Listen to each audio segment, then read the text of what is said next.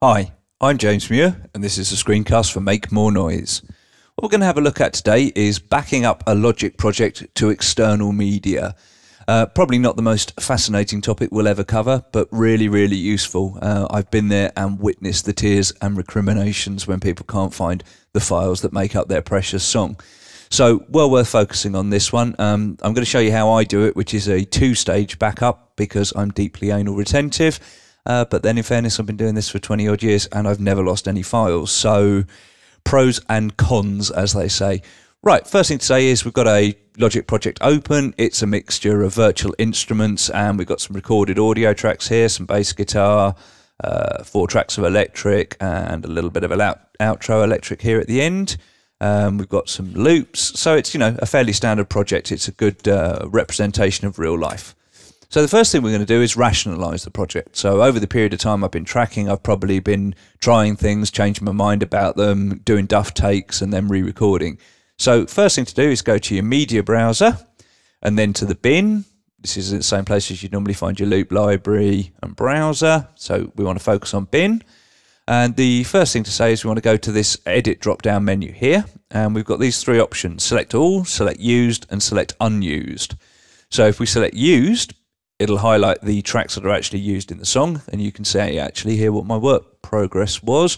I've got some uh, drum loops up here at the top, which is obviously what I was using when I was going through the writing process. A few takes takes of guitar, which I didn't end up using. So that shows you what's actually used in the arrange window. So if we now go to select unused, these are the files which aren't used in the arrange window, so they're not part of my project anymore. So once I've got those selected, I can just hit the uh, delete or backspace key, depending on what you like to call it and we've rationalized our project. So we've got it down to a smaller size. Now we can close down the media tab. And if we go to the file menu, you'll see we've got the option to do a save as. So I'm going to save as, and then I'm going to point it at my external drive, which in this case is a 16 gig USB memory stick. And that's where we're going to back it up. I'm going to make a new folder for it. And the track at the moment is called Fun and Games can't talk and type at the same time. Um, so I'm going to create that folder and then let's just have a quick look at the options. So include assets, which obviously very logically you want to record any audio file. Record? You want to include any audio files you've recorded. Copy external audio files to project folder. Yeah, that makes sense. So if they're spread around your hard drive, it'll gather them all up and put them in one folder. Copy EXS instruments. Uh, well, actually, I know in this project I don't have any EXS instruments, but again, if you did, your uh, your best bet is to tick that box there, and then that'll bring any across. Same with Ultrabeat samples. I know I definitely haven't got any Ultrabeat. Um, Space Designer impulse responses. Again, I know I'm not using any Space Designers in this, but if you are using Space Designers or Ultrabeat, you want to tick both of these boxes. And finally, copy movie files to project folder, which again, I know I don't actually have any movie files in this particular project, so I don't need to tick that. But if you are working to a picture, then obviously you do need to tick that. So now I can just click save and it'll whir away and start saving. What I'll probably do at this point is cut away, let that have a save, and we'll come back in a second. Okay, that's all saved. It actually took a lot less time than I thought. Um, so now we can actually close down Logic. Um, we'll save our changes because we rationalize those files, so that makes sense. And we don't need to see the ScreenFlow window. And now if we browse across to our um, USB memory stick, which is sitting on the desktop, let's just drag that onto the left-hand screen. You should see here we've got a uh, folder called Fun and Games, which is the one we just created today at 12.02. And then if we look into this folder, you'll see that's our actual Logic project, which clocks in at a mighty 1.7 meg. And then we've got audio files here, which looks about right. Bass, yeah, the compiled guitars, and the drum loop that we're using for the project. So that looks like a successful backup. Now, the second stage of my backup process, because the way I think about it is that um, if you assume that your hard drive in your computer can fail, which is why you do backups, you need to assume that your external backup medium can fail, or in this case, because it's a memory stick, I'll probably lose it at some stage. I also like to do an optical media backup, so that would be to DVD or CD. And the probably the most paranoid thing I'm going to say this morning is I like to keep all of those in different places.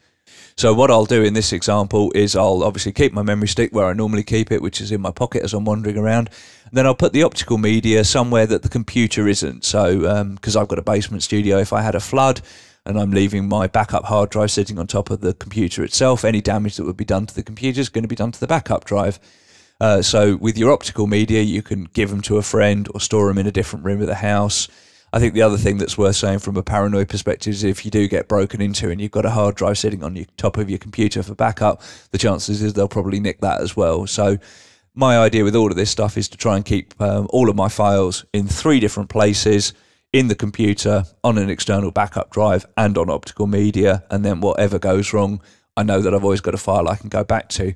But for the files I keep on the optical media, I use Apple's inbuilt uh, compression algorithm, which will make the file a bit smaller. So we just Apple I, while we're selected on our folder, we'll be able to see that this is a 61.6 megabyte folder. Not too bad in that case but obviously on a big song with lots of audio, that's going to be a lot bigger. Now, if you either um, control click or right click, if you've got one of the modern keyboards, you'll see you get this option compress fun and games, which is the folder we've just made. So I can start that compressing. It's going to take less than a minute. I'll just cut away while it's doing this and come back again in a second.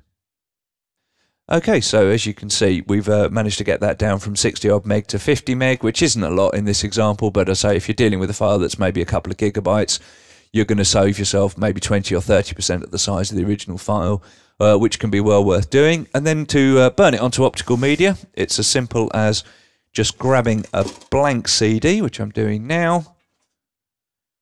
We can whack that in the drive we should get a little dialog box come up fairly swiftly. Okay, so what's the default action in this case? I must admit, I always leave it on Open Finder, so I'm just going to OK that. And now we've got our untitled CD. And again, if you control click or right click, you get the option to rename. So in this case, we're just going to call it F and G, and then uh, 2010. So I know when I was working on this, that says 2019, uh, 2010. So I can save that. Then it's just a case of dragging your zip file over the disk icon, letting go. That's our file. And as you can see up here in the top right hand corner of our Finder box, we've got a burn option. So we can set that burning. Uh, maximum possible speed because it's data. Um, with audio, it's worth burning at a slightly slower speed. You get less errors, but with data, burn away at the maximum. So I can click burn, and there we are, burning out backup optical media. So that's my personal way of backing up. I back up to one hard drive, then to optical media, and obviously leave the original sitting on my computer in my studio. So worth paying attention to this one. Back up, back up, back up. I've been James Muir. This has been a screencast for Make More Noise. I hope you enjoyed it.